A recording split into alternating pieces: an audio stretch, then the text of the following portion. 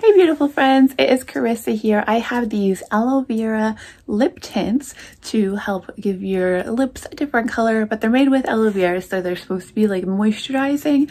I'm gonna go ahead and try them out and let you know. So my lips, they're pretty sensitive to stuff. I can't wear um, a lot of lipsticks and things because they'll dry my lips out. So I'm excited to try these out and see how they do with my lips.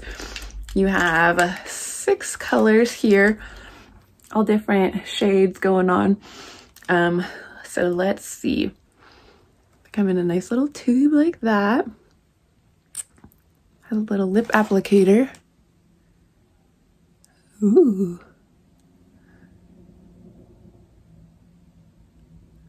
So this is color one.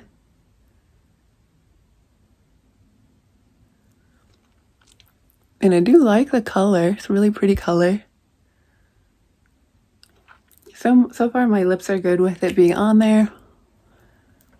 And then I'm gonna do two. So it looks like there's like a mixture of like reds and berry colors in here. And this one looks like it's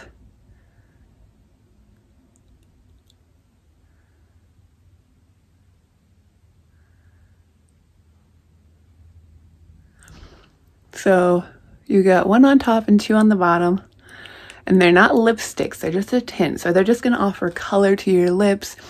They shouldn't be getting like on your teeth like lipsticks do or anything like that. I really do like the different colors that are in here. Um, I will do some more, like I'll wait and then do some more tomorrow so you can see some of the other colors too because there's several of them here. All right, so we're gonna try out some of the other colors. This is three.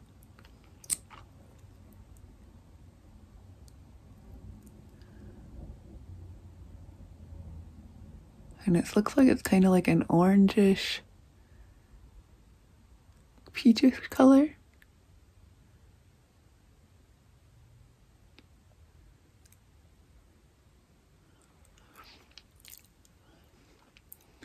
And once they dry, like you give it a few seconds to dry on your lips, and once they do, it doesn't come off when you, you know, drinking from a glass or anything like that. This is number four. This is a pretty pink color.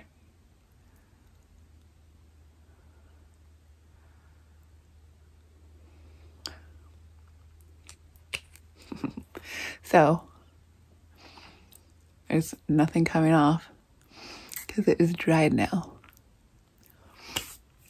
we'll do a five and six on my hand. Doesn't, you know, it's not the same as being on the lips, but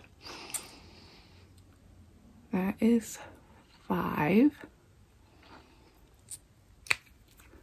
And six is this.